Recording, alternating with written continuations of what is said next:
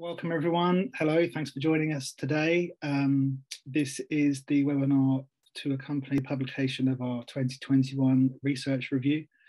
Um, anyone who uh, doesn't know me already, I'm Rob Farrow. I'm a senior research fellow at the Open University and uh, I coordinate the uh, research uh, work for this phase of GoGN. so, research reviews. Uh, let's see.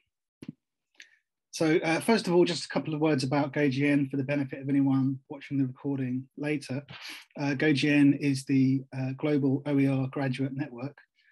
And we're a network of support for doctoral researchers in open education, but also just researchers in the community more generally. You can check out the website at go-gn.net. We've been going since 2013 and um, the uh, management of the network came to the Open University around 2018. Um, and so we're funded by the Hewlett Foundation and uh, we coordinate the network from the Open University in the UK. Uh, the aims of GoGN are to raise the profile of research into open education, to offer support for people conducting doctoral and postdoctoral research in the area, and to investigate and develop openness as a process of research. We've got more than 100 researchers uh, who are um, either joined as doctoral candidates uh, or they're, they're still doing their uh, PhD or EdD. And we've got about another 200 friends of the networks. That's people like uh, PhD supervisors, mentors, and interested practitioners. Um, so we have lots of different um, aspects to what we do. Uh, within the research strand, um, you may have uh, you may be familiar with our uh, research methods handbook and conceptual frameworks guide, which were published uh, this year and last year. And last year we also published the first of these research reviews, um, which you can find on the uh, GoGN website. So, uh, what's the idea behind the research reviews? So, um, essentially, we, we were interested in finding ways to encourage members to collaborate, but also to work openly and to um, sort of investigate how the network can support people uh, in their own research uh, by leveraging a bit of sort of collective intelligence and collective activity. Uh, it's also a chance to give people some experience with publication process and preparing manuscripts for publication.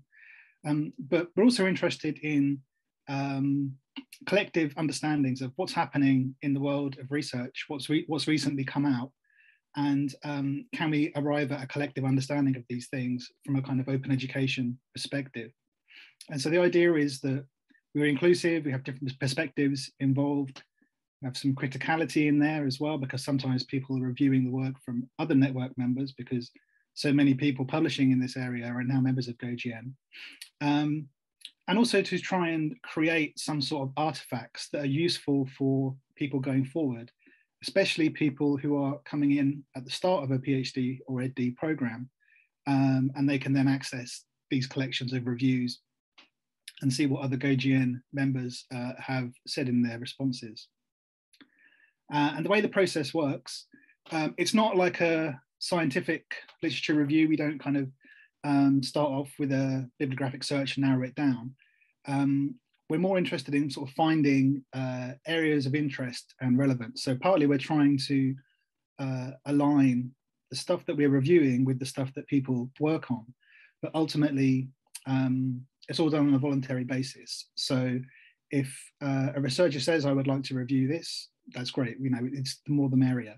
Um, so we don't claim this is like the best research, you know, or the, the, the most relevant research, but this is the stuff that people were interested in reviewing in the time frame uh, that we worked in. Uh, so we, these reviews were written between September and November, and um, the way it works is we assemble all of the reviews into a Google Doc. So there's a, an editorial process where any of the authors can go in and make some suggestions. And um, once we're happy with it, we go live. So um, that's what happened yesterday. Um, it's not entirely freeform though, so we do give some guidance to the reviewers on um, the kind of things that we're looking for. So here's the, the suggested prompts. You can see it's still pretty flexible. And it's really just designed to give people the prompts that they need to um, cover the right things in a review. Um, so essentially, what's it about? What are the main research claims? Are the methods robust and appropriate? Uh, does the data presented actually support the conclusions? Is the argument clear? Is it well written and accessible? Uh, is all the relevant research included? Um, and then I, I, guess a slightly more meta consideration, which is what's the relevance of this for open education research? Like for the sort of specialist audience, um, what's the important thing to know about this paper? And similarly, what's interesting about this contribution? So that's the guidance people were given. Um, and what I'm going to do now is I'm going to run through um, summaries of the reviews and um, I know we've got some of the reviewers here with us today as well, so I might lean on people for a, a little bit of a personal point of view. Um, but we'll just have a bit of a discussion as we go along. It's you know quite informal, and the idea will be just to sort of um, give people a bit of space to explore some of the ideas and to find out about the kind of research that's going on at the moment. So uh, we, we organize them by category. So the first category is uh, open educational resources, but the subcategory here is theory. So these are papers that concentrate pr primarily on the theory of open educational resources. Uh, so the first one is reviewed by yours truly. Um, uh, this is LASH, the Scientific Digital Culture, or Wissenschaftskultur der Digitalität, Lessons Learned. Um, and this was quite a short paper, really, but I thought it had some um, pretty interesting ideas. And uh, essentially, the bit that I thought was interesting was uh, there's a claim that digital culture and digitalization in higher education has got three elements. And those three elements being referentiality. So, this is the idea that no one can uh, have any sort of monopoly on knowledge uh, knowledge is always networked and contextual. And the idea here was that um, digitalization accelerates and catalyzes those processes. second idea is that communality. So the idea that uh, epistemic communities are communities of practice, which is essentially a similar way of saying the first one, but it's more about the sort of knowledge production side rather than just you know how it's contextualized and, and how knowledge exists within a sort of uh, framework. The third idea is um, maybe quite a sort of modern one. It's the idea of algorithm, algorithmicity. So um, obviously algorithms. And the sense here is that um, human beings did most of the task associated with higher education, but machines are increasingly able to uh, take on some of these things. And the argument's made that openness cuts across all of these things.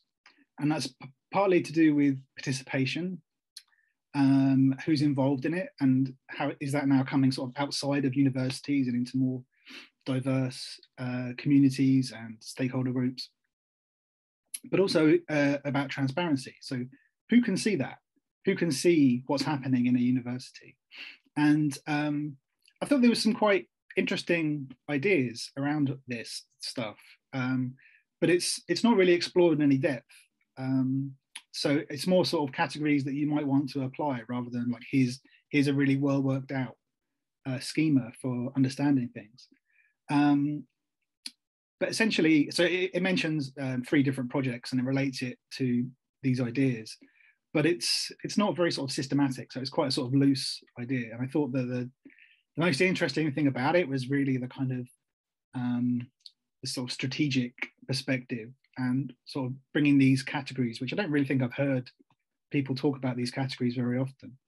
Um, so I thought I found it quite sort of stimulating from that point of view. Um, but again, it's quite short, and it's really one of those papers where um, it's talking about some projects, but in some ways the projects are not kind of mature yet. And it was really the background and the kind of setup that I found the kind of interesting bit. Um, so yeah, that was the first uh, first review, and um, I don't have the chat up at the moment, but um, if uh, let me get that up. If anyone does want to um, ask a question or anything like that, um, feel free to just pop it in the chat at any point. Uh, otherwise, I'm going to progress. Um, if you want to talk about this, maybe we can do it at the end. No comments so far, Rob. I think okay, um, just a nice comment from Kathy about the handbook. Um, who, and Kathy said that's so awesome. We're leaning very heavily on it as we create research resources for librarians. Thank you. That's thank, thank you, Kathy. Kathy. That's kind. And Martin says quite an interesting framework to hang future work on. Yeah, I thought so because they're quite a flexible categories that you could, you know, very sort of contemporary. So, um, second contribution. Uh, this is reviewed by Glenda Cox. Uh, open educational resources, a response to rising textbook cost difficulties in the transition process to OERs through the lens of Mezirow's theory of transformative learning. You can kind of tell it's a German title originally, I think, very long. Um, so I haven't read it personally, right? So I'm now moving into the language of the reviewer. Um, and so uh, the, the, the response that Glenda had was that this was a well-written summary of a larger study. So maybe some of this, some of the stuff that might come up is in, is in the larger study. Um, 16 uh, interviews, all of them course instructors who had OER experience. And uh, you might sort of suspect that this is a kind of slightly generic study, um, which in some ways it sort of indicates how far the whole thing's come, where it's just like, oh, it's another study about textbooks improving access and lowering costs and all that sort of stuff. But it's still important and um, uh, and valuable. And I think the sort of new aspect or new dimension that this paper brings is this um, alignment of Mezirow's transformational theory to the process of OER adoption. I'm not familiar with Mezirow. I did look up this, uh, this theory though, um, which you can see on the screen now. And so these are the 10 steps of uh, transformative learning. And I guess the, the idea is that you could sort of track the, pro, the process of OER adoption through these um, different stages from disorientation down to reintegration. This is new to me. I haven't really encountered many people um, trying to articulate the stages of OER adoption in a sort of systematic way. Normally, adoption is like the first bit, right? Of uh, or substitution is like the first bit of OER adoption. So first of all, and then you know you move through to sort of creating your own resources and that kind of thing. So I guess this sort of relates to that first step of just you know moving in the direction of OER. But I guess you could repeat the stages at different levels or different kind of um, approaches or more complex uh, reuse and recreation of OER. But I took this to be a kind of interesting original contribution. Yeah, this is just a Monday for Martin, right? um, but but yeah, I mean, it's one of those things where it could kind of apply to you know almost anything new, right? Any sort of learning. Um, but you know, new to me, and um, I mean, it's quite an, quite an old theory, I suppose. Dates from the seventies, um, but I I thought this was probably the main kind of interesting aspect um, coming out of this review. Uh, so the next contribution, uh, open educational resources, supporting diversity and sharing in education. And this was reviewed by Paula.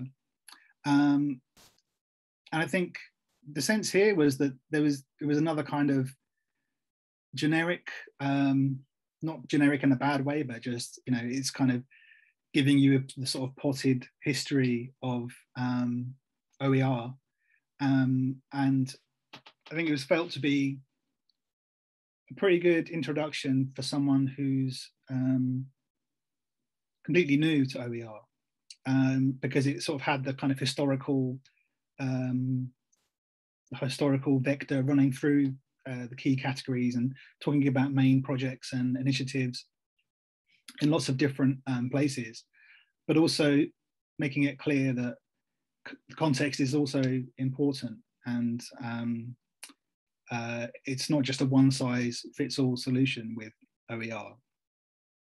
So the idea there was really um, it's a useful resource, a useful paper, but um, it's nothing particularly kind of original in, in the nicest sense. It's just a kind of competent, good treatment of the subject. Um, and so it's the kind of thing that could be good also, I suppose, for if you were maybe starting out um, with uh, OER or starting out on a on a, a, piece of research around OER, this might be a, a good touch point to um, summarize some of the main themes and trends and that kind of thing. Um, and it also has good signposting to uh, other bits of research and other things that you might want to look up. Okay, so um, that's the end of the first section. Um, I don't know if um, anyone has anything they'd like to raise at this point, or um, I can just continue. Okay, I'll continue. Um, so second section, also about OER, but in this case, we're focusing on impact rather than more theoretical takes. First paper, Barty and Leonard. Uh, so the, the main summary here, um, it's written from the perspective of academic librarians. And uh, the thing they're interested in testing or finding empirical support for is the idea that STEM education can be um, supported um, in terms of curriculum improvement, but also the sort of uh, the processes around uh, research and teaching um, improved through the use of OER.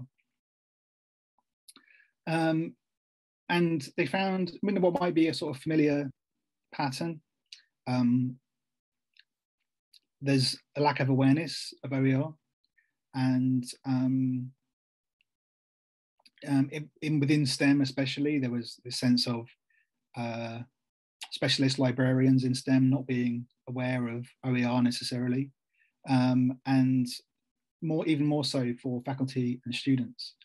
So, um, but where they did, uh, where they did have, where people did have awareness, um, you find the sort of familiar patterns where it's like, actually, yeah, this can be quite useful and co-creating resources can improve engagement and uh, all that kind of thing. Um, another key thing here is the idea that librarians actually need a bit of support if they're going to um, perform this kind of role in higher education institutions. Um, and that's partly about giving people improved awareness but also giving them the time that they need to become familiar with all the different OER options and how it works and all that sort of stuff. Um, so yeah, pretty much a sort of librarian focused contribution. But um, if anything, we probably need a bit more of those in general, given the importance of librarians to the whole process. Next paper, McDermott, open to what? critical evaluation of OER efficacy studies in the library with the lead pipe. So um, this, this is, it sounds, I haven't read the paper, but it sounded to me when I was reading Natasha's review, that it's a bit like a kind of like counter, uh, counter paper for um, OER efficacy studies, uh, of which there are many, right? And um, part of the whole idea behind these efficacy studies is that they're harmonized and they look for the same key um, same key indicators and the same key features across lots of different studies and that supports these various claims that people want to make about OER. Um, and this paper, I don't know how fair it is in, in the way that it approaches it, but it seems to be saying, ah, yes, but look at all the things that are missed out and there's no sort of critical perspective uh, when you're just looking at sort of COUP framework stuff. Uh, and it's, you know, my hot take without actually having read it myself was that, well, yeah, um, that's probably right. There is quite a lot of stuff that you're overlooking if you uh, have this sort of reductive approach. But in a way, the reductive approach is kind of needed if you want to do that specific thing. Um, but I think I have some sympathy for the idea that um, you can mistake the part for the whole with um, efficacy studies by you know if you just focus on those and that's the only sort of thing that you're looking at that's missing a lot of stuff around um, uh, OER that's quite interesting potentially uh, so um, two things I think worth saying about this um, one is it does uh, it does identify several areas where maybe overlooked um, and um, I'm always in favour of sort of critical perspectives myself. I think it's really important to uh, retain a critical perspective on all kind of research, really. Um, uh, in this case, it would have been useful to have um, more quantitative support for some of the claims that are made about there being things overlooked or things lacking in, in the research landscape. Because um, essentially they don't really do any of that sort of stuff where you would say, look, there's been, you know, 100 papers published this year and 50 of them have been um, efficacy studies or anything like that. So there's not really a sort of quantitative support for the idea here. Um, but I think still think it's an, it's an interesting take, and I kind of like the the idea of sort of um, counterclaims and sort of trying to bring uh, the perspective back onto uh, the wider qualities of um, OER um, uh, implementation. You might also just say, well, look, that's what open educational practices are. that's another way to, to go with this, maybe, and say, well, look, yeah, there's some stuff missing from efficacy studies, but that's open educational practice, and that's you know a separate thing. So interesting to think about. Um, I think this is one that um, I might read personally um, at some point.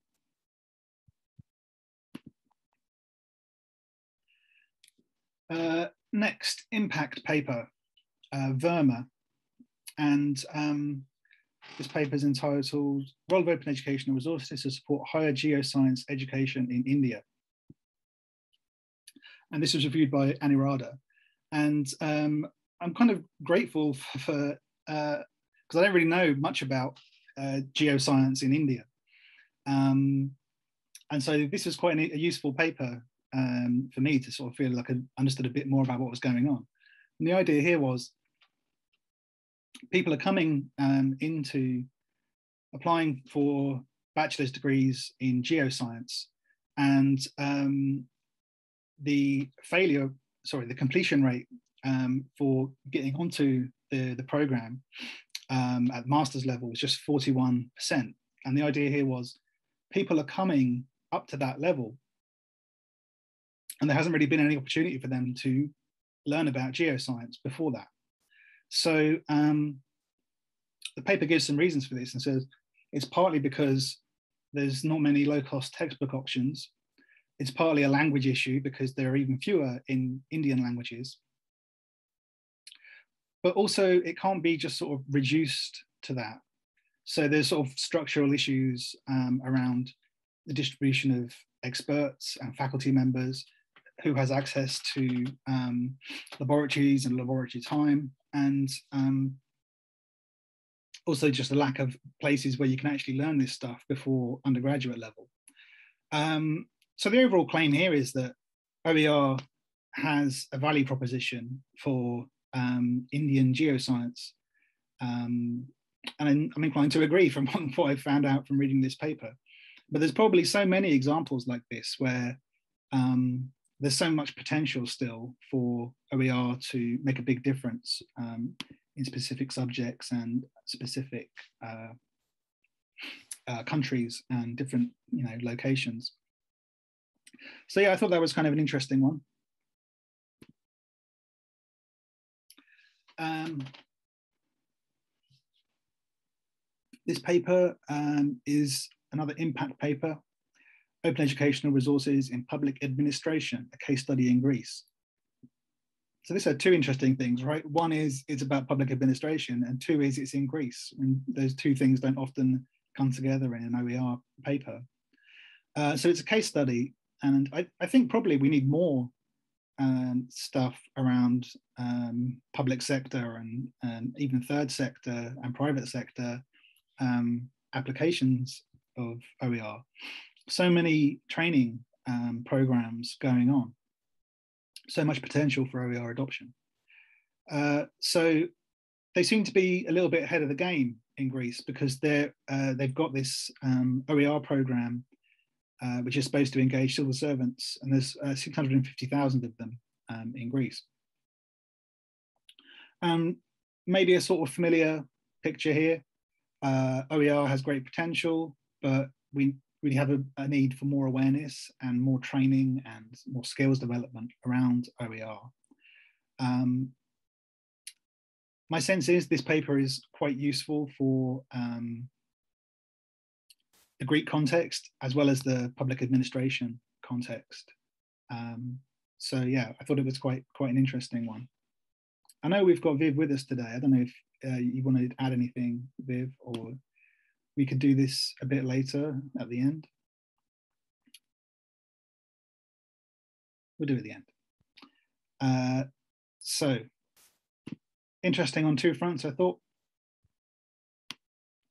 Um, another one, this time in Italy, uh, OER in Italy. And um, I think this had some authors who are very well versed in uh, higher education in Italy. And my sense was from reading the review that this, this came across in the way that it was written. Um, so here the idea was there's a literature review and there's data from a survey from um, Italian rectors uh, who are basically high level managers. And um, based on this, they make a series of recommendations uh, relating to capacity building, and they recommend forming a, national OER repository and a platform for people to use it. And I got the sense that the, the value here is really like um, like thoroughness in the literature review and the and using the data, but actually knowing the context well enough to really talk about um, the specifically Italian challenges. So um, my sense is this is probably a pretty good one if you're interested in um, Italy specifically, but also a point of reference for other countries that might be a bit like Italy in some respects. Okay. Uh, next impact paper. Incentivizing faculty for OER adoption and open textbook authoring. Uh, so this one is another case study based at this time at uh, Rutgers University in the United States. Um, and it's focused on textbook costs and had a relatively small sample of students. Um, and so, um, again, some sort of familiar tropes, you might say, uh, challenges around finding specific resources, students feel that they're benefiting from using OER, faculty less willing to uh, create their own OER specifically for use on these courses. Um, and that's kind of in tension with this idea that uh, they're still interested in innovation and improving practice and that sort of thing. But yeah, they're not necessarily going to go to the level of creating OER. That's kind of familiar stuff. Um, I, I, took it that the, the key thing here was there was it was in a sort of top down implementation. So rather than having uh, a sort of handful of advocates who are teachers who are interested in kind of moving towards OER and open textbooks. This was coming from someone higher up in management saying we're moving in this direction. So I thought it was interesting from that point of view because those are those are kind of thinner on the ground, those approaches. Okay, so that's the impact section. Um, I thought there were some, you know, pretty interesting little case studies there um, and some stuff that's you know outside of what you would normally um, look at in impact studies. So I think that field's kind of getting a bit more mature in some ways, and we're seeing more examples from different places and that kind of thing. Uh, open educational practices is next. So um, first paper, uh, transformation and digital literacy, systematic literature mapping. Uh, and this is reviewed by Helen, who's uh, with us today. Uh, and essentially, it's an exploration of concepts of digital transformation, digital literacy, and so on. I got the impression reading Helen's review that um, there was a kind of uh, inconsistency around how these concepts are used and used sort of interchangeably and not necessarily in, in a sort of very systematic and schematic focused way. Um, and there are also some things that were brought in from um, more business uh, orientated approaches. So talking about learners as consumers and that sort of thing, um, rather than talking about a higher education perspective. And uh, the um, open education seemed to be just a kind of something mentioned in passing. Bearing in mind, I haven't read the paper myself. It seems something mentioned in passing rather than you know something core to what was going on. Um, but the thing that caught my eye was this uh, database that they built to accompany the paper, as I understood it. So there's a database of uh, nearly 300 articles that they uh, composed for writing this. And as an open, open, uh, an open educational practice in itself, I thought this was quite an interesting um, approach. It made me think, hmm, could you have a GoGN database where we've kind of done annotated reviews of like lots of different stuff, maybe some version of you know the research review exercise, but it exists on a database somewhere. That was quite an interesting proposition. Um, Helen, did you want to come in on this? Because I feel like I've you know given it a very sort of simplistic overview. You're, welcome to add some detail, or we can just talk at the end. It's fine. Okay. So moving on, next paper. Uh, opening up educational practices through faculty, librarian, and student collaboration in OER creation, moving from labor intensive to supervisory involvement. It's another snappy uh, title that you just can't forget. Uh, so here we have an overview of uh, OER implementation at Ohio University Library. Um, oh yeah, sorry, Helen. Um, I probably should have unmuted you if I wanted you to say something. Um, we, we can talk at the end, and but yeah, thanks for your for your comment. Um, so uh, the interesting thing with this paper seemed to be the focus on labour specifically. So um, they looked at 20 stakeholders in quite a micro level um, case study uh, and looked at what was the labour implication for all those different people based on um, moving towards OER. And several OER initiatives are mentioned. So there's uh, moving to open textbooks and uh, having um, assessment banks online for people to use and that kind of thing. So the main claims here were uh, that the authors said involving students in OER creation, um, which some people call this kind of open pedagogy approach, uh, has improved student faculty librarian relationships and increased engagement, um, but also act as, as, as kind of catalyst for OEP across the institution. And I thought this kind of triad, student, faculty, librarian, was kind of interesting. And um, I think uh, uh, we don't, know, don't necessarily think enough about the librarians again, um, and how sort of uh, how key they are to that sort of teaching and learning uh, process in higher education, especially in some universities, know, depending on the kind of model that people are using. Um, so it's another one for the librarians, but not just for the librarians. I mean, that's the point, right? Um, it's you know sort of making that librarian contribution very central. Uh, next OEP paper, uh, OER in virtual teaching communities. Uh, so here, um, the idea was to um, understand uh, the kind of use and interpretation, I suppose, of OER in a virtual teaching community um, there were 11 interviews, um, and they basically concluded that uh, STEM education is where there's most interest in um, OER. And familiar sort of features around this, um, more flexible and more open teaching processes, better feedback loops, more learner involvement, more innovative experiences. Um, and I thought it was also uh, it's also uh, quite good that they uh, really try to contextualize the results rather than saying we've proven this, we, you know, this, we've got some data or this is the conclusion.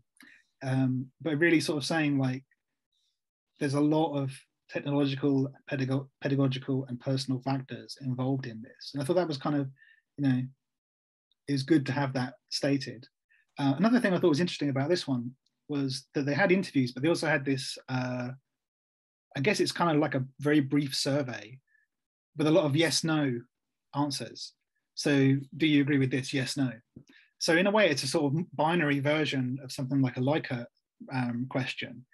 But bearing in mind how difficult it can be sometimes to get people to contribute to uh, surveys and stuff like that, just a yes no thing um, with lots of different stakeholders could give you some really interesting results. So yeah, I thought that was um, quite an interesting way of approaching stuff like this.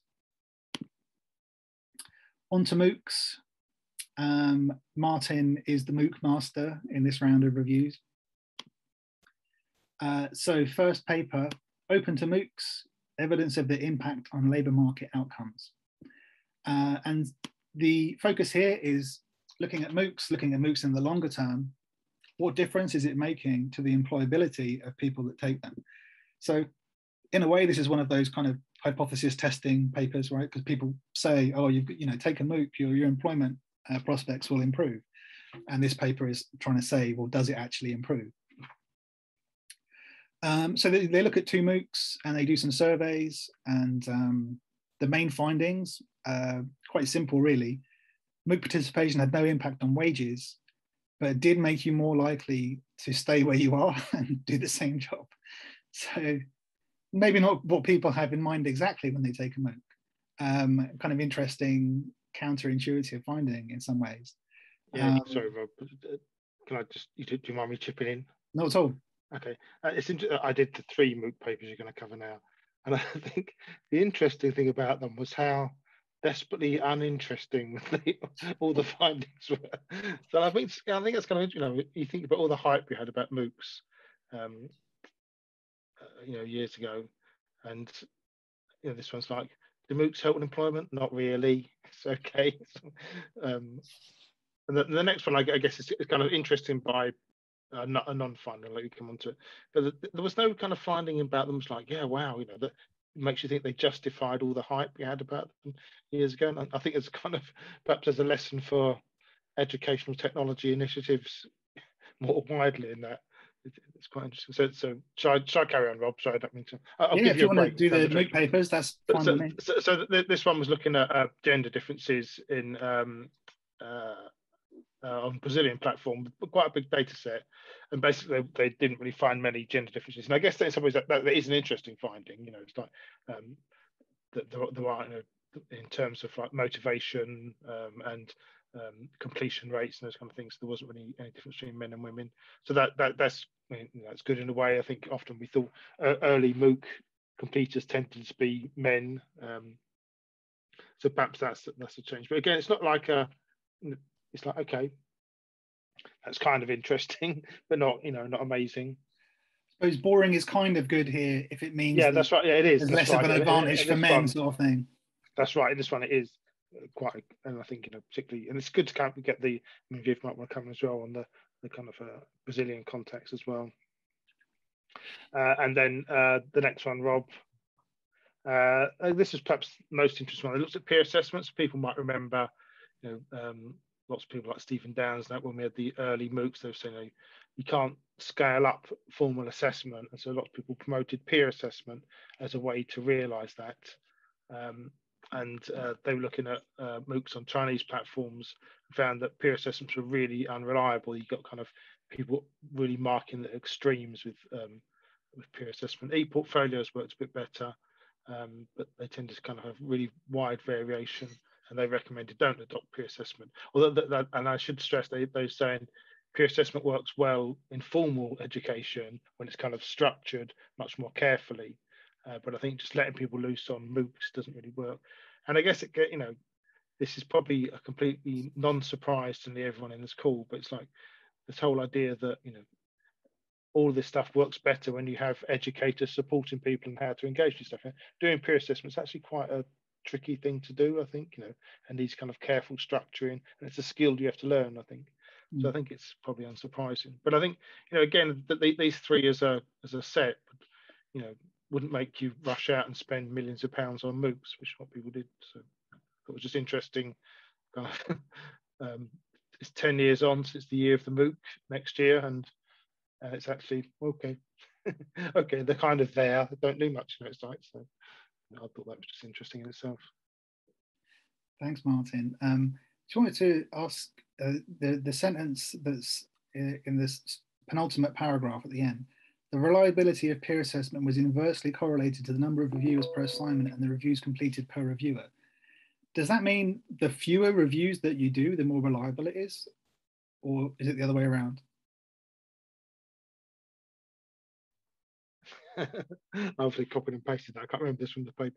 So it's okay. invested to the number of viewers. So having lots of reviewers doesn't make Makes it, it less reliable. Yeah, yeah, and you might you might have thought you might spread it out, you know, with more reviewers, but it just kind of gets more pinging around, you know, um, and the views complete. So yeah, and, and, a, and a reviewer doing lots of reviews um, does make them any right. Spends less time on them and just eventually. Yeah, maybe. Yeah, just like pings, yeah, that's right. Yeah. That again, that, that, those might be counterintuitive in some ways, and I think you you might get the reverse in formal education when it's kind of more structured scaffolding uh, approach, as uh, Helen says in the chat. Yeah, I think quality is probably uh, better than quantity with this stuff. Um, thanks, Martin. Um, moving on, because I want to give us a little bit of time for discussion at the end if we can. Uh, open pedagogy.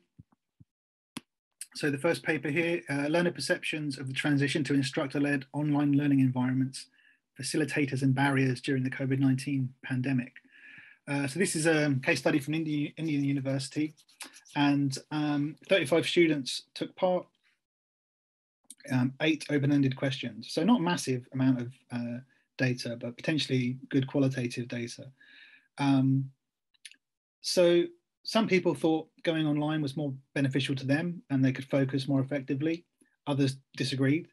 And the thing that seemed to make the difference is that some instructors didn't change their style to teaching online.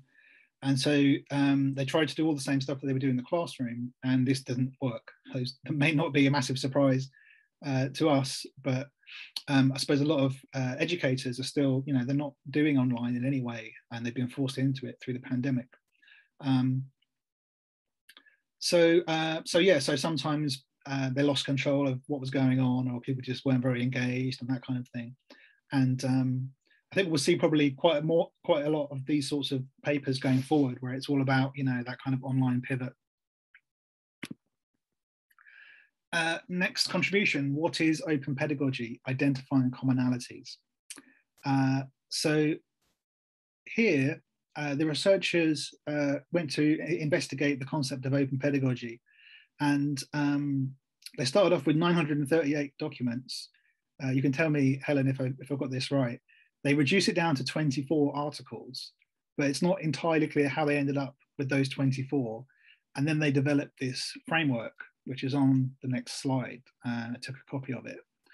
Um, before we look at it, the basic conclusion here seemed to be, yeah, that's that's an interesting take on it, but it's not comprehensive. Um, and Helen mentioned uh, criticality and social justice not really being in there at all. Um, but it's maybe still useful as an overview for how you might think about open pedagogy. So here's a sort of five level Venn diagram. Um, I'm not sure exactly what's supposed to happen in the overlaps, maybe any, if anything. Um, but uh, the five kind of parameters of this are uh, diversity of cultural voices a design partner, participatory pedagogy, open licensing, uh, non-formal learning, and a culture of collaboration. Um, without seeing exactly how they ended up with those five, it's hard to tell, but you know, potentially useful for people And if you want to add anything to that, Helen. I think one of the, the interesting things with this one is they they pulled in information from blog posts as well as um, peer-reviewed articles, and I think that just adds some depth.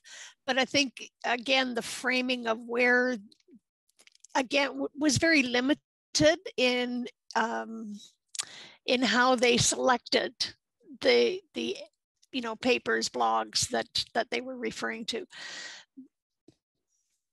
Okay, thanks. Yeah, that's the that's the sense I got from your review as well. Um, but it seems like it could be useful, um, even if eventually someone adds a sixth circle or something to it. Um, next paper. Uh, oh, hang on. Uh, exploring student perceptions as co-authors of course material. Uh, so this was a, a survey um, and uh, 92 people completed the survey. Uh, and this is after having been involved in um, creating, co-creating content for the course. And there's a bit of background information, you know, why they were doing this down because of attrition and, and so on. Um, I thought it was potentially useful that the questions uh, that they asked were av available as an appendix uh, to the paper, which is a kind of good open practice. Um, overall, I think the the results were sort of underwhelming, if I can put it that way, is from reading between the lines a little bit. Um, I think it seems like people were interested, and and there's again sort of potential there.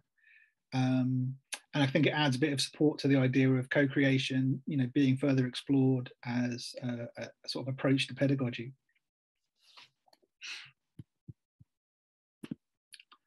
Um, innovation. So um, uh, I've got a bit of a focus on innovation at the moment for a project. So um, I took a couple of the reviews here.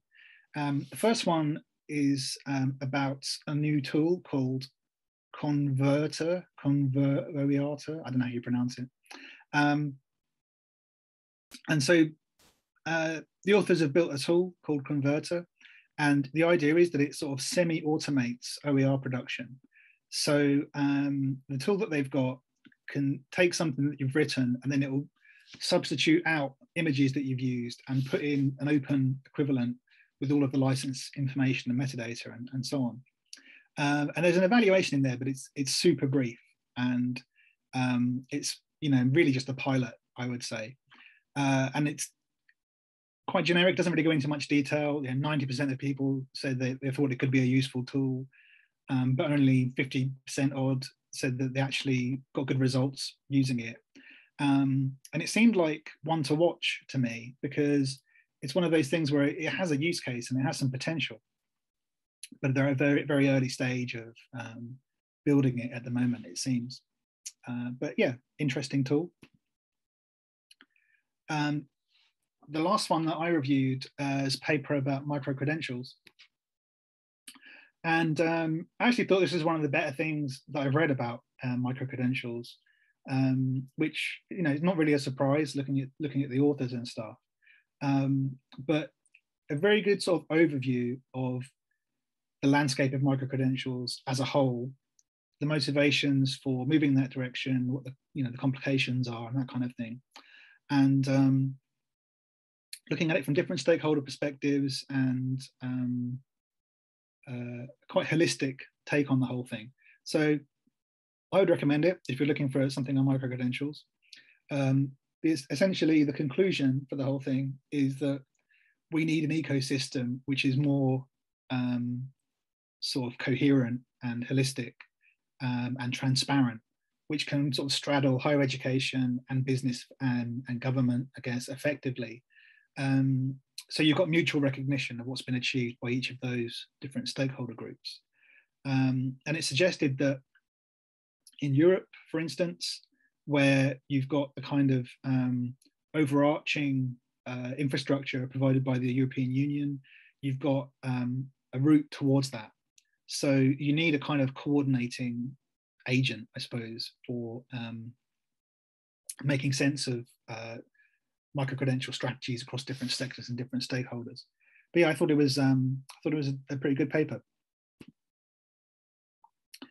Uh, this one was reviewed by Beck, Navigating Support Models for OER Publishing, case studies from the University of Houston and the University of Washington. And um, I would say these are the sort of familiar OER adoption style case studies. And um, it goes through detail for the review process for open textbooks and how they get adopted, what kind of uh, checks are made for you know accessibility and so on. Um, and essentially, they're sort of very detailed case studies about that process, probably more relevant to audiences in the USA than uh, outside, um, but still, you know, good benchmarks for the kind of detailed studies that um, that we need to see. So, um, so yeah, um, I think that's where to look if you're looking for that kind of thing. Um, didn't get a strong sense of a kind of innovation aspect from it though in the end, um, unless you you know you might fairly consider OER adoption itself to be quite innovative, uh, which it is. Uh, final category, social justice. Um, first paper, Advancing Social Justice for Asylum Seekers and Refugees in the UK, an open education approach to strengthening capacity through Refugees Action Frontline Immigration Advice Project. It's another long one. Um, so here the focus is the failing asylum system of Britain um, and the actions being taken by uh, charities um, to uh, uh, give advice um, to different stakeholders um, in managing the situation. And the idea here is that you can create OER um, for social justice. And so they look at several different projects. Um, I think it was 22 projects. And um, the, they identify these different dimensions uh, for social justice within uh, open education. So deliberative iterative design, access to provision, flexibility of provision, development of resources, support, and advancing knowledge and skills while adapting to the workplace. Um, this is an interesting area to me. I think it's quite, it's kind of putting your money where your mouth is with the social justice stuff, right? It's very applied and very kind of immediate, um, looking at uh, refugee action. So, um, but I also thought this this kind of list of the dimensions of open education for social justice were nicely concise and could potentially be applied in different um, cases.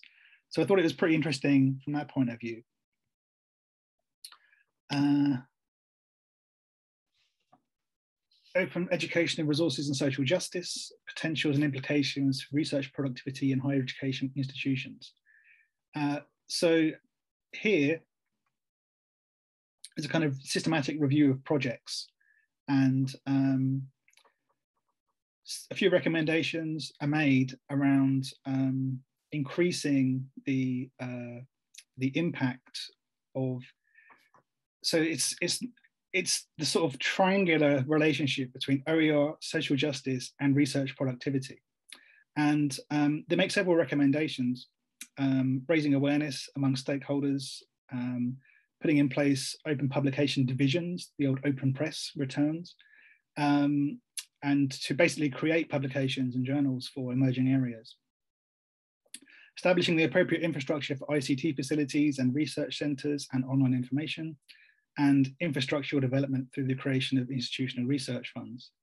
Um, so um, again, it's that kind of attempt to make things a bit more applied around the social justice, I suppose, moving it away from sort of theoretical um, concern. And um, uh, I don't know if it's Paco. Are you here, Paco? Yes, here I am. Did you want to say anything about about this paper? Because um, you say that it basically it lacks um, innovative proposals and kind of just repeats some of the stuff you know that we've seen before. Did you want to elaborate on that a little bit? Yeah, I think it's an interesting review. So it goes in detail through the projects, but I, I guess it could have been taking more benefit of that in, in giving pointers for future research that's the feeling it gets when you you finish reading the uh, the paper. But indeed, quite quite interesting as the previous one. I think one of the relevant aspects of this type of reviews is trying to get to know areas in which you're not, not an expert, which is my case. So I found it quite uh, useful to understand initiatives that are being done around. But I guess, uh, yeah, my, my critic could be that it could have gone a bit uh, farther. That's great. Thank you. So um, I think this is the, the final one now. Uh, framing open educational, uh, open educational practices from a social justice perspective. And this is one, one of the papers from JIME. Um, um, so Helen, uh, you reviewed this. Did you want to give us the, the overview? I think one of the pieces for this paper is the, the uh, relevant practical applications that came from the practices of the, the three authors and how they connected it then to that social justice framework that uh, came out of the research. I, I actually went back to the original papers to see what that framework looked like, and it really helped inform this when I was reading the paper. But it just really uh, good. It, it was a, a challenge to critique or um, critique uh, clearly because there there's so much in it. Um, the charts themselves, I, I had to go back to, to reread the charts that are presented because they provide so much that supports the written paper itself. So um, well worth the read um, and, and adds significantly to my own practice. Um, so I, I appreciate the work they put into this. That's great, thank you. And um, you helpfully also provided us with uh, an illustration, right? So this is um, Helen's take on uh, the framework that's discussed in this paper, um, which now you that's an OER. That's out there now as an OER doing stuff. Um, and it's uh, it's also in the uh, paper version of the uh, research review. And and again, it really this is my way of trying to to kind of build understanding and make sense of some of the the uh, I said, I don't want to say it's a mess, but there, there's some logical sequence to the paper, but I, I had to look at it differently. Um, and I tried to conceptualize that in, in some type of an issue.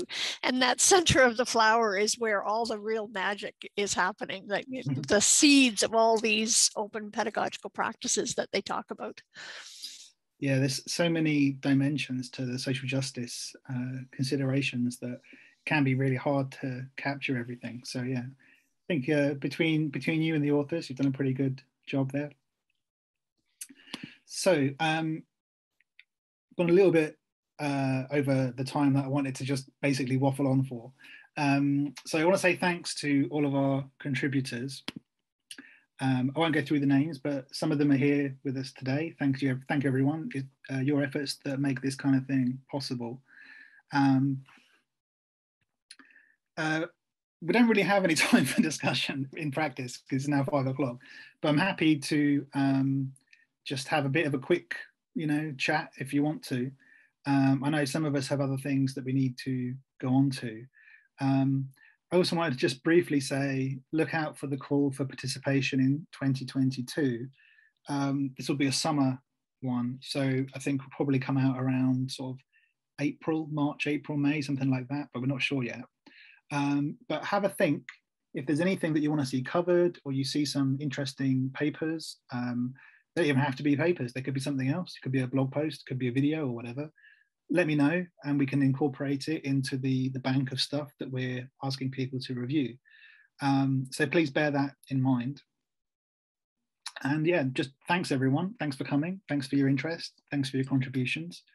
Um, if